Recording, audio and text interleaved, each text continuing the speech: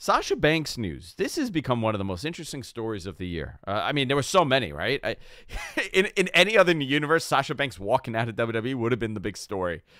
Fortunately, or fortunately, it's not.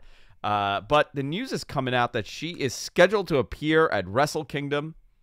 Dave went into detail on this with Bryan on Wrestling Observer Radio. I, I recommend you guys check it out. She said she agreed to terms for mul- it, it's all verbal, right? There's no contract here. It's all verbal agreements, handshake agreements. She agreed to terms for multiple dates with New Japan, but re-signing with WWE is still possible. Right now, she's not signed, but it is possible.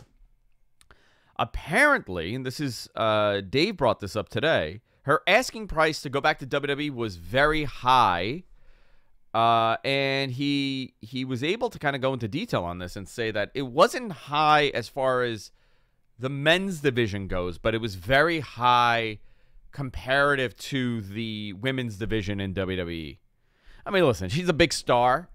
She was in Mandalorian. She has some crossover branding. She has uh, crossover mainstream non wrestling, uh, you know, attention, which is always a positive. But I, I I find that a little interesting. I'm sure she wants, you know, Ronda Rousey level money or Charlotte level. I don't I don't know Charlotte's contract or Becky's contract. I'm sure she wants a lot more, but there's still a lot of uh, a lot of people that are disappointed that she just walked out on them. So maybe that's playing a part. But she's not scheduled to wrestle, according to Dave, just to set up a match. So MG, and you you you help me out here a little bit, right? There you go. Our producer, uh, Matt. I don't know if you guys could hear Matt. Uh, John, I don't know if they could hear him or not, our other producer here, but if they can't, uh, if we could try to get. Okay, thank you. There we go. So he's good. So here's my question, right? He's not good, mm-hmm. apparently. All right, maybe yeah. you guys could hear, maybe you guys can't. I was a little confused because the Wrestle Kingdom setup sounded like a match at Wrestle Kingdom, no? Um, yeah, well, I don't know for sure, but I do know that they said uh,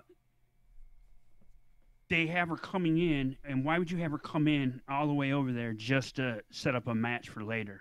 When that's a big name. Yeah, yeah. That I mean, listen, it's Wrestle Kingdom. It's like a WrestleMania appearance, especially if you're a fan of you know New Japan Pro Wrestling like we are. So right. it, it is a big deal to be there. Um, I would have liked to see something happen yeah, it's the there. first women's match in uh, in New Japan. in New Japan, yeah. So I guess I guess so. at the end she could come out and crown, you know, give the title to the winner, and you could do that. But this is becoming an interesting story here because at the same time as this is happening, the New Japan story and with Sasha's happening, Paige on Wednesday or Saraya, sorry, I got to get used to that, man. it, it's I can't get used to it, right? I keep calling her Paige. Saraya uh, mentioned that she will have a mystery tag partner for the January 11th show, Dynamite. That's coming up in a month from now.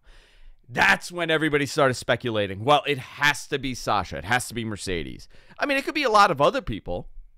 Yeah, I mean, the possibilities. Eh, a lot of people were thinking he was Nia Jax early on when she said that. I mean, some of the other names. I don't know if it's Nia or not. Some people were speculating AJ Lee, which I don't see happening considering how her husband exited the company. Uh, you have some options here, and I'm sure they're going to come up with something creative. But if it was Sasha, if it, if it is Mercedes, what does that do to the AEW women's division? I think it, it, it, it gratefully improves it. It could be Trinity. It could be Thunder Rosa. It could be Toni Storm. The list that goes on and on in the chat. I, I think you know. I don't think it's going to be Toni. I'll tell you. I, will tell you that. I don't think they would tease something for a month if it's Toni. I, I mean, it could be Thunder Rosa for sure. It could be Trinity. Uh, that could be an option too.